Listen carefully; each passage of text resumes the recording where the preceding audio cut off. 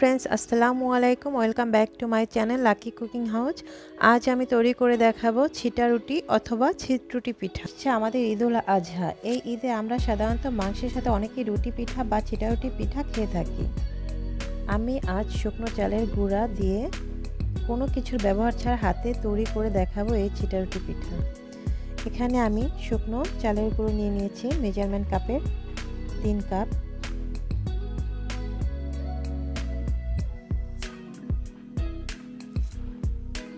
আমি চালের গুঁড়োটাকে ভালো করে চেলে নিয়েছি। এরপর দিয়ে দিচ্ছি লবণ পরিমাণ মতো। এরপর দিয়েছি রান্নার রেগুলার অয়েল দুই টেবিল চামচ পরিমাণ। এরপর দিয়ে দিচ্ছি হালকা কুসুম গরম পানি। আমি এখানে শুকনো চালের কুড়িটা নিয়েছি, তাই আমি এখানে কুসুম গরম পানিটা ব্যবহার করছি।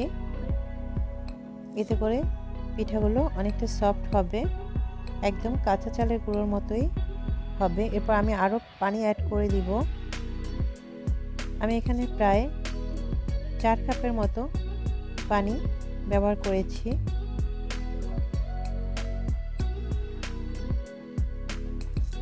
আপনারা এটা ব্যাটারের ঘনত্বটা বুঝে তারপরে পানিটা ব্যবহার করবেন। আমি একটু একটু করে পানি দিয়ে দিচ্ছি। এরপর আমি একটু নেড়ে চেড়ে দেখব যে আমার ব্যাটারটার ঘনত্বটা কতটুকু হয়েছে।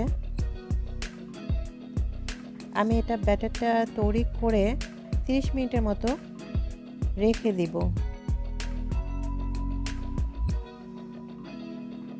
এতে করে আমার যে শুকনো চালের গুঁড়োটা, সেটা কিন্তু একটু ফুলে উঠবে।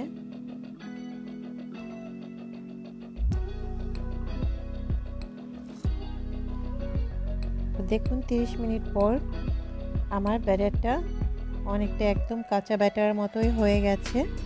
এরপর আমি এখানে ছোট একটি বাটিতে কিছুটা ব্যাটার তুলে নিচ্ছি। যেহেতু আমি হাত দিয়ে পিঠাটা তৈরি করব, তাই ছেটানোর সুবিধার্থেই আমি এই বাটিটায় আলাদাভাবে তুলে নিচ্ছি।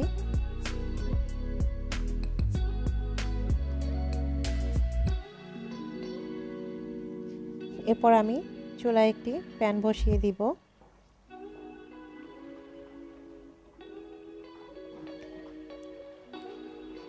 এখানে আমি সামান্য একটু তেল ব্রাশ করে দিব।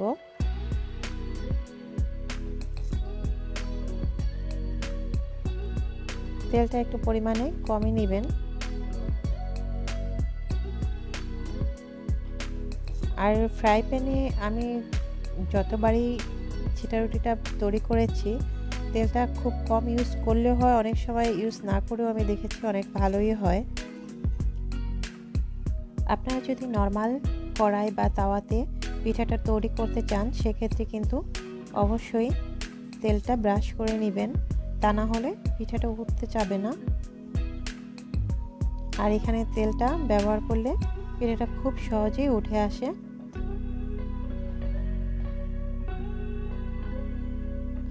তো আমি এভাবেই হাতের সাহায্যে ছিটিয়ে ছিটিয়ে পিঠাটা তৈরি করে নিচ্ছি।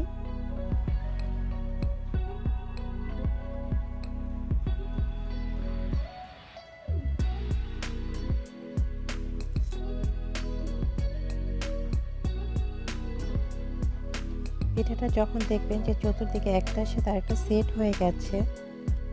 একটা জালি জালি ভাব চলে আসছে, তারপর ব্যাটারটা দেওয়া স্টপ করে দিবেন। তারপর 10 থেকে বারো সেকেন্ডের মধ্যেই কিন্তু পিঠাটা তৈরি হয়ে যায়। দেখুন, আমার কিন্তু পিঠাটা প্রায় হয়ে আসছে। এখন পিঠাটা উঠে যাচ্ছে। এবার আমি পিঠাকে ভাজ করে নিব। সেটা ওটি পিঠাটা সাধারণত আমরা চার ভাজ করে থাকি। আমি এখন চার ভাজ করে নিব। এভাবে আস্তে আস্তে দেখুন, একটু হাতের সাহায্যে তৈরি হয়ে গেছে আমার ছিটা রুটি পিঠা। তো এভাবেই আমি সবগুলো পিঠা তৈরি করে নিব। এই পিঠাটা কিন্তু মাংস বা কলিজার সাথে অনেক টেস্টি হয়, অনেক মজাদার একটি পিঠা। আমার ফ্যামিলিতে এই পিঠাটা সবাই অনেক পছন্দ করে। তো ভিউয়ার্স এই ভিডিওটি যদি আপনাদের ভালো লেগে থাকে প্লিজ আমার চ্যানেলটি সাবস্ক্রাইব করবেন। পাশে থাকা নোটিফিকেশন বেল আইকনটি বাজিয়ে দেবেন। কমেন্ট বক্সে আপনাদের মতামত জানাবেন। দেখুন আমার সবগুলো পিঠা তৈরি হয়ে গেছে। এভাবেই আপনারা তৈরি করে নিতে পারেন সেটা ছিটাউটি পিঠা। সামনে ঈদ আসছে, ঈদে কিন্তু মাংসের সাথে একদম জমে যাবে। তো সবাই ভালো থাকবেন, সুস্থ থাকবেন। আল্লাহ হাফেজ।